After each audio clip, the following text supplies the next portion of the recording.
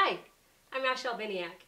I'm a born and raised Boulder native, and the dishes I'm making for you today are dishes that I created about 15 years ago. I started cooking when I was 14 because I was going to Weight Watchers, and my parents wanted to help me become a self-reliant cook in the kitchen, which I did, which has been great over the years. I've been able to work with kids and work with adults who maybe otherwise aren't comfortable in the kitchen, which is why I've created dishes that are not complicated, but delicious. And in fact, we're not even going to use a knife today at all.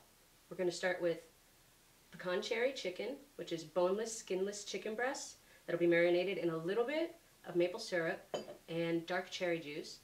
We're going to also caramelize pecans in brown sugar so that when you take your bites of delicious moist chicken with sweet cherry and crunchy pecan, it's a really delightful experience. We also have quinoa elbows, that will be tossed with marinated artichoke hearts and goat cheese. And the reason I use quinoa elbows is because they stay al dente without being too tough, and you can toss it all really nicely, it won't fall apart, and the tanginess of the goat cheese with the herbs in the marinade are really delicious. And then our greens are going to be pan-fried kale in just a little bit of grapeseed oil, and I want to introduce you to something I've recently discovered, garlic juice. This stuff is amazing. We're also only going to use two pans the three quart saucepan to cook the quinoa, and a cast iron skillet. I'm really excited about the opportunity to go to the Escoffier School for Culinary Arts because I already feel a sense of family and support and encouragement from the administration and my coach Matt and the chefs. And I have a theater family and a film family, and now I'm going to have a culinary family, and I'm very excited about that. The quinoa noodles Take about seven minutes. The box will say six to nine, but I think seven minutes is just the right amount of time. And then when you put it in the strainer, shock it with cold water to stop them from cooking.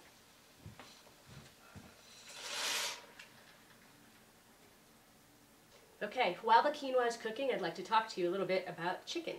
Now, not everybody has a meat thermometer in their kitchen, and I think we all know that if you cut into a chicken before it's done, to see if it's done, you compromise the juiciness. So I'd like to show you what I do to ensure that it's cooked. The first thing you need to do is touch the raw chicken. Not every time, just the first time. So you get an idea of what it's not supposed to be like when it's cooked. It's fleshy, it's soft, it gives. Cooked chicken isn't going to dangle like that. It's going to hold itself up and be firm. Now we're going to take just a little bit of maple syrup to put on top. I find that this really helps with juiciness as well. And then you take the juice from the cherries, put that right in there, and then set it aside. The quinoa pasta is finished. You want to pour it into your strainer and immediately add cold water to it to stop the cooking process. And while that's draining, I like to keep my warm pan right here and take the goat cheese and put it into the warm pan so it will melt a bit. If you need to, you can put it back on the stove on the hot burner. And the reason for this is the quinoa pasta is going to go into this same pan and the goat cheese is going to coat the noodles. And then we'll put that into the refrigerator for just a little bit so it can adhere. And then we're going to add the marinated artichoke hearts and let it sit. And then put it into another container that isn't warm. See how that? Nice and coated. I'm going to put it into the fridge for a little bit. So while our chicken is still marinating in the cherry juice and the quinoa is in the fridge cooling off, we're going to do the caramelized pecans, which is simply melted brown sugar, and then you're going to coat the pecans until they get a little bit toasty, but coat it in the sugar, and then we're going to remove it out of the pan and put it onto parchment paper so it can cool off. Starting with a medium-high heat, put your brown sugar in.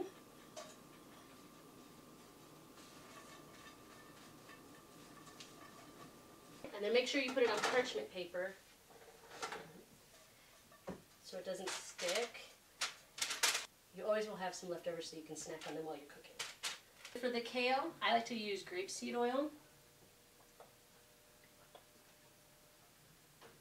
Always start your oil in a hot pan. And I'm going to put the kale in first and then add the garlic juice. It does tend to splatter a little bit, so be prepared for that.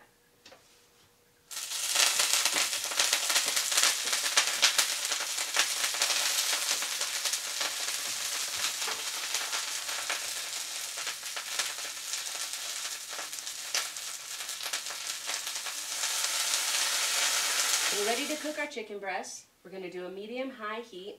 We're going to put the chicken and the cherry juice in the pan, cover it. It should take about 15 minutes, and then we can take it off the heat, but leave it in the pan to rest for another 5 to 10 minutes. That should be more than enough time to cook it.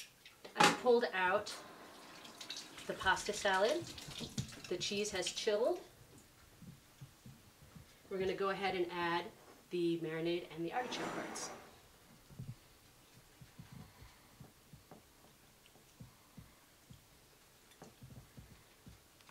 We let our chicken cook for 15 minutes and then we let it sit off heat but stayed in the pan covered for another 10. They're absolutely done. See they hold themselves up. I'm going to go ahead and plate now. I like to put the chicken down first. Ooh, we're losing chairs.